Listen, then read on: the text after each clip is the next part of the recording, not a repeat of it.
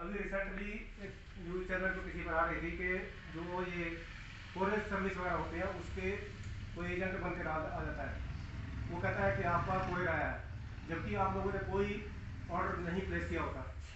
ना? तो आप इसको ऑर्डर को कैंसिल करिए वो एक कहीं नंबर लाता है बात करता है कहता है ये आपका ऑर्डर कैंसिल करते हैं। तो जब आपने ऑर्डर किया ही नहीं तो आप कैंसिल किसी से करोगे? उनका बोलिए मैंने ऑर्डर नहीं किया तो मैं कैंसिल नहीं करता मैं कोई ओटीपी नहीं बताता आप रेल लेके आए, आप वापस ले जाइए, इसको वापस कर दीजिए, जहाँ से आया वहीं वापस कर दीजिए।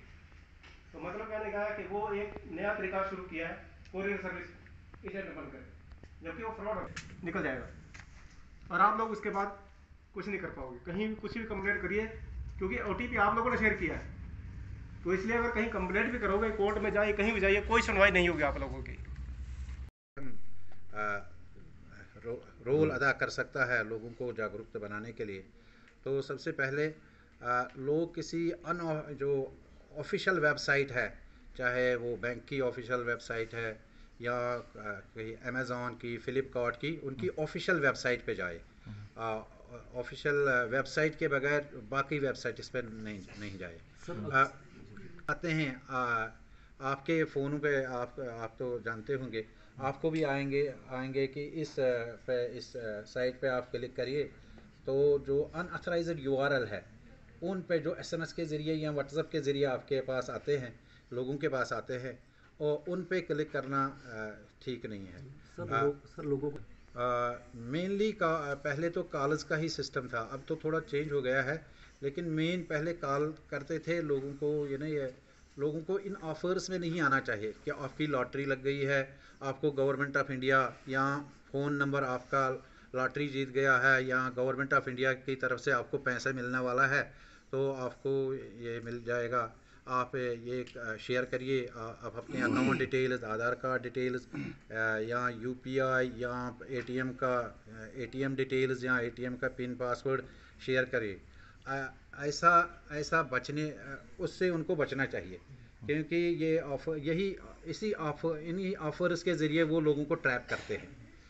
ताकि उनके अकाउंट से पैसा निकाला जाए। बैंक अगर कॉल करेगा के के लिए बैंक कॉल करता है, लेकिन वो हमेशा कहते हैं कि आप बैंक में आइए। वो किसी साइट या किसी और जगह का नंबर नहीं देते, या वो किसी भी ऑनलाइन साइट पे आप अपना ये डिटेल कभी भी शेयर ना करिए। चाहे वो एटीएम की डिटेल है, उसका वो सीवीवी नंबर है, यूपीआई डिटेल। ख़ास तौर जब आपको ऑफ़र दी जाती है पेमेंट रिसीव करने के लिए यूपीआई कोड कभी भी शेयर नहीं करना चाहिए। आप आ, लोगों को शेयर नहीं करना चाहिए। बच्चों को कल हमने बुलाया था कि यहाँ पे तो इसमें आ, ये नहीं स्टूडेंट्स स्टूडेंट्स भी है स्टूडेंट्स के बगैर भी लोग आए हैं। हम्म। तो उनको हमने ये जानकारी दी। सर सर जो कई नंबर्स है आरबीआई के। जैसे अगर आपकी कोई ग्रीवेंस है या कंप्लेंट है वो तो बैंक के खिलाफ तो आप वन चौदह चार सौ अड़तालीस पे कॉल कर सकते हैं। आप मिस कॉल भी दे सकते हैं। मिसड कॉल अगर आपकी कोई ग्रीवेंस तो फिर आपको आरबीआई से उसका रिड्रेसल के लिए फ़ोन आएगा। If you give a miss call on eight six nine one nine six चार बारी ज़ीरो तो इन नंबर्स पे आप कॉल कर सकते हैं। अगर आपको बैंक के ख़िलाफ़ भी कोई ग्रीवेंस हो बैंक आपका मसला हल नहीं कर रहा है किसी कारण तो उसके लिए भी नंबर है zero one three five two seven four two double zero one तो इस पर एक्चुअली आरबीआई की तरफ़ से है नेशन वाइड अवेयरनेस प्रोग्राम ताकि लोगों को ख़बरदार किया जाए कि जो आजकल आजकल का ज़माना डिजिटल का ज़माना है बैंकिंग पूरी बदल गई है डिजिटल प्लेटफॉर्म पे आ गई है। तो उसी केस में कई जो फ्रॉडिस्टर होते हैं जिनको ज़्यादा टेक्नोलॉजी का नो होते हैं वो आम लोगों के साथ कई किस्म के फ्रॉड कर, करते हैं। तो उसी सिलसिले में ये टाउन हॉल मीटिंग हमने यहाँ ऑर्गेनाइज़ की है। लीड बैंक ऑफ़िस रियासी ने। आ, तो उसी का ये इसी की एक कड़ी है ये। लगता है आपको किस तरीके के जो फ्रॉड किया जिस तरीके जिसके साथ फ्रॉड होता है कुछ केस में होता जल्दी रिपोर्ट करेंगे तो उसमें पैसे आने के चांसेस वापस है। बेहतर है कि जागरूकता ही फैलाई जाए मीडिया हम्म। के ज़रिए चाहे दूसरे चैनल्स के ज़रिए हम्म। तो ताकि लोग बचे। इस प्रोग्राम का मेन मकसद है कि लोग लोगों prevention is better than cure. तो पहले ही हम लोगों को जागरूक करें कि उनके साथ कोई फ्रॉड न खेले।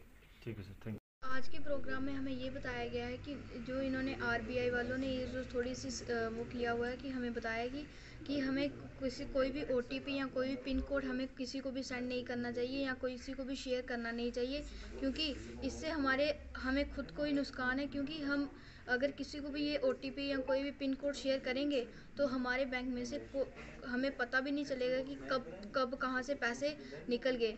तो हमें ये हमें सभी को ये बताना चाहिए कि कभी भी हमें अपना ओटीपी या पिन कोड या शेयर नहीं करना चाहिए। हमें एवरी टाइम सुरक्षित मतलब कि रहना चाहिए। सबसे पहले आप सभी को मेरी तरफ़ से नमस्ते। मेरा नाम शालू देवी है और मैं S B I R C T Reasi institute से आई हूँ।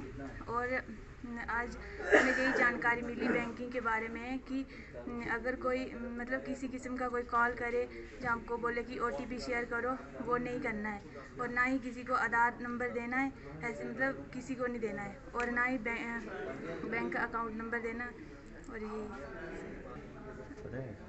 स्टेट बैंक के द्वारा ये प्रोग्राम करवाया गया है और यही बताया कि किसी को, किसी किस्म का कोई कॉल करे और बोले कि ओटीपी शेयर करो, वो नहीं करना है किसी को भी।